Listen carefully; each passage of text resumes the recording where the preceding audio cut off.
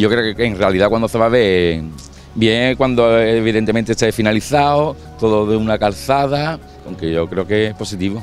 El tránsito de, gente antes que coche me parece genial. Para el carril bici, para el peatón, para los coches, y que lo veo perfecto. Calle esta mm, no es la más adecuada para haber hecho lo que han hecho. Que los carriles quedan estrechos porque los coches pasan justos.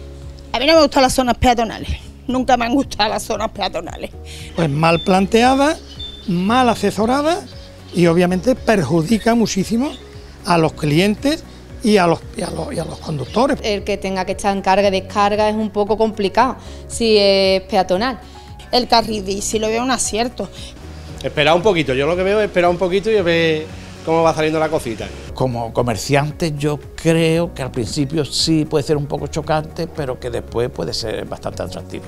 Lo veo mal por el aparcamiento, quizás porque se hayan metido muchas cosas en poco espacio. No me parece mal, pero yo creo que haría falta carga-descarga. Pues la acera nuestra, por ejemplo, es que no hay bares. Entonces, yo creo que en esta parte sobraría, ¿no? Y cogería a lo mejor un poco más de calzada para los vehículos.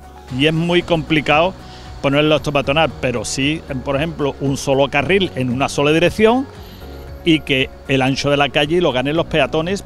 Dejarlo igual que estaba, toda la vida ha funcionado bien, yo no sé para qué tienen que cambiarlo. Hombre, si fuera para mejor.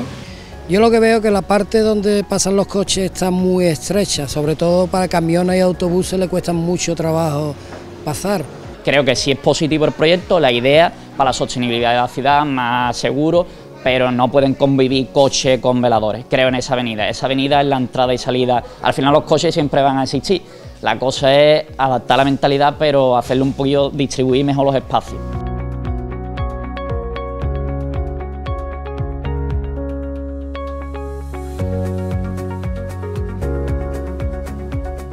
Hacer un parque subterráneo sería la solución. Yo haría una bolsa de aparcamiento. Y se facilitara de alguna forma el acercamiento andando o en transporte público. Lo que sí que es un problema gordo, el de aparcamiento aquí es problema gordo. Buscar un poquito bolsa o hacer más subterráneo. En algunas zonas poderlo hacer, un aparcamiento amplio. Yo creo que el problema del aparcamiento es que no hay ni para moto. Tendrían que poner aparcamiento en las afueras y que los autobuses llegaran más rápido. Y que tengamos unos buenos servicios públicos que conecten con el centro a los coches hay que darle una solución. En algún lado hay que, hay que meterlos. Porque no se puede decir prohibido, prohibido, prohibido, pero claro, ¿y dónde lo metemos?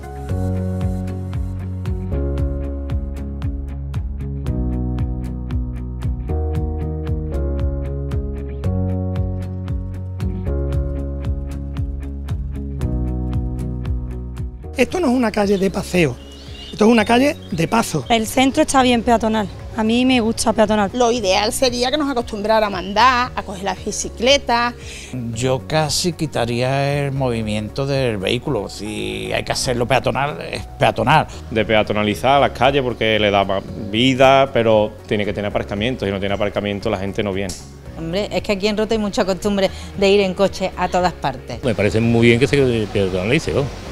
Yo, yo creo que hay que andar, hay que moverse. Yo veo bien el tema de eso, de ponerlo peatonal para los comercios, que eso al fin y al cabo es bueno para, para ellos. Carril bici, monopatín, una buena acera y menos tránsito de coche. Pero la mentalidad todavía, creo, de nosotros todavía no está preparada para eso. Es muy bohemio eso de tener el centro peatonalizado, pero en, realidad vivimos en el siglo XXI, hay que dar unas alternativas. La tendencia a quitar coches, sí, pero quitarlo con sentido común. Si ese es el futuro de todos los pueblos y ciudades, todo el centro, ponerlo peatonal, me parece perfecto que lo pongan peatonal.